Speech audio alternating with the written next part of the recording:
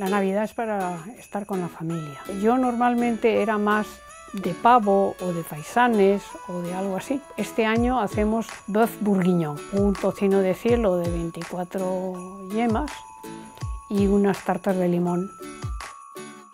Normalmente suelo sacar los platos de plata primero, que los uso un poco como bajaplatos para que no me los rayen, entonces la sopa se pone en consomé encima y luego es una vajilla de porcelana y como último pues unos platos de postre con escenas de los grabados de Goya que me regalaron cuando me casé.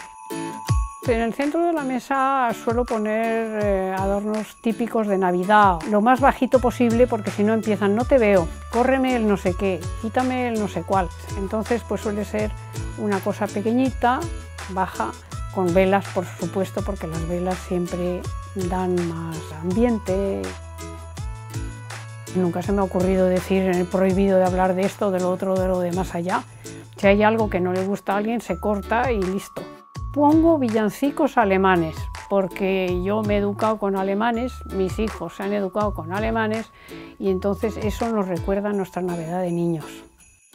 Normalmente no tengo invitados, tengo a mis hijos y ya saben que yo a las 12 desaparezco porque voy a misa de gallo.